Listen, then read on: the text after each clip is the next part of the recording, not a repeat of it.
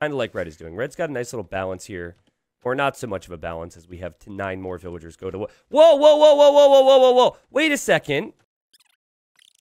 We need to determine if blue is auto-scouting. Okay, blue is not auto-scouting. This is a manual scout. So blue probably just set waypoints around the map to go different areas. Now check this out. Okay, so when he clicked them, he probably didn't really think about it too much. What happens is if you click somewhere you can't access, the unit's going to get there and be like, nope, and then just keep moving on to the next waypoint. Watch this. Here goes red. Red's also doing circles with the scouts. And red clicks these villagers out here. I don't know why. and now blue's scout makes it inside the enemy walls. I don't even think blue knows about this yet.